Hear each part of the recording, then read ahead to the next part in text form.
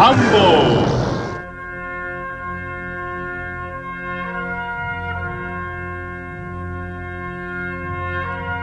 De volta vale a pena da pena. Aqui é o Miotti. Aqui é a Marina. Marina, assistimos o filme que a gente precisava e a gente queria. Posso dizer que antes de fazer esse vídeo eu fiz a barba, porque ela cresceu muito durante o filme.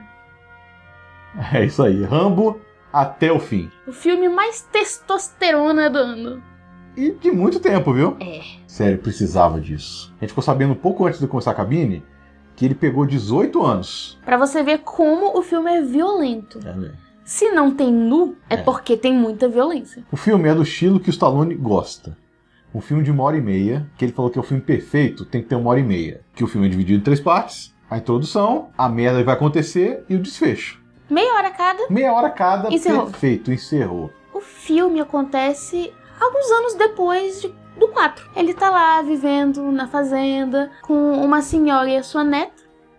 A neta já grande, né? Já indo querendo pesquisar faculdade e tudo mais, blá blá blá. Tá lá vivendo normalmente, feliz da vida, até que a menina decide descobrir quem é o pai dela, porque ela não entende porque foi abandonada. E ela vai pro México atrás do pai dela. Nisso, ela acaba sendo sequestrada para ser vendida como prostituta. E o Rambo fica sabendo disso.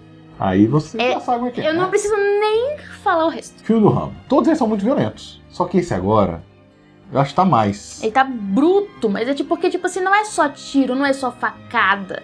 Tem uma violência, assim, escancarada de desmembrar pessoas, assim, de uma forma muito grotesca. É mesmo. E o que eu achei muito legal é você ver que, tipo, mesmo depois de todos os filmes, que seria um filme pra ele ter mais calmo, mais velho, tipo, a guerra está nele. Sabe? Ele nunca conseguiu desprender daquilo tudo que ele viveu. Então é um filme muito psicológico dele também. Apesar de toda a violência que também tem ali, você se emociona com a situação que ele tá vivendo. É. Com a idade que ele já tá, ele não ter conseguido superar tudo que ele passou. É. E as únicas coisas que dão alegria pra ele são aquelas duas que moram com ele e ele vê algo de ruim acontecendo com a menina. Você compra completamente a vingança dele. Aquela frase do seu Madruga, né? A vingança nunca é plena, mata a alma e envenena. Pra ele não tem essa não. O Stallone tá vendo como esse mundo tá uma merda. O público tá precisando de um filme assim. Porque tá precisando mesmo. O cabra macho que vai lá e, resolve as coisas. E outra coisa, desde o primeiro filme, ele não é o invencível não. Ele apanha. Ele apanha, Ele apanha, sofre. sofre tudo. Não é um super-herói, é um ser humano. Só que ele tem a cabeça. Ele, Ele é ele pensa de uma forma estratégica. Então, ele sabe o que tá fazendo. Ele sabe que se ele estiver lá no meio de um monte de gente, ele não vai ganhar. Se você não viu o trailer, não veja. Vai direto pro filme, que é a melhor coisa vai fazer. Eu quero ver muito de novo esse filme. Quero ver muito. Acho que depois das coisas que acontecem nesse filme, não tem como dar muita continuidade. Pois é, É, vai ser bem é, complicado. eu acho que encerra mesmo. Mas se tiver encerrado mesmo, foi um encerramento Foi maravilhoso. mesmo. Muito emocionante. Você chorou? Eu chorei. Pois é. Rambo. E eu estava É, lá foi chorando.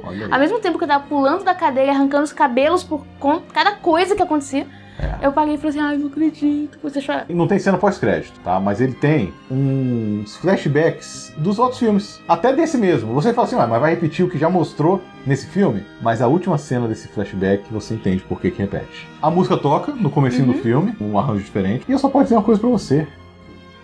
É cinco, É 5, 5 sem mil. dúvida. 5 cinco. pra sempre. Se somar todos os 5 de cada um, né? De É. cada ramo. Stallone tá de parabéns sempre, a história é dele, que nem ele fez com Creed 2. Então é isso.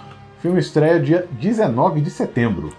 E assista hoje, assista amanhã, pega todo mundo que você conhece que gosta da, da sequência né, de Rambo, vai pro cinema, assiste, eu acho que vale muito a pena ver no cinema. É um filme ousado, sabe? Tipo, tava faltando coisa desse tipo. Ousado, corajoso, é tudo, tá? Ele não tem medo de fazer coisas que hoje em dia não pode fazer. Esse nem o Rambo. É o Rambo. Esse filme é que nem o É o Rambo. Rambo. Tipo, não tem medo não, vai lá, encara, se não gostar, não gostou, o problema é, É. seu, é isso. E se você gostou do vídeo, curta, compartilhe nas redes sociais, se inscreva no canal, clica na sinetinha pra receber as notificações.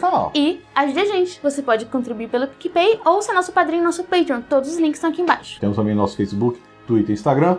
Todos os links aqui embaixo também, todos arroba Portal Refil, além do nosso site portalrefil.com.br. Beleza? Nos vemos no próximo. Olha, E se der descurtir ou não gostar de Rambo, a gente tá aqui, ó. Tá armado, ó, aqui, ó. Aqui, ó. Aqui, ó, aqui, ó. Aqui, ó.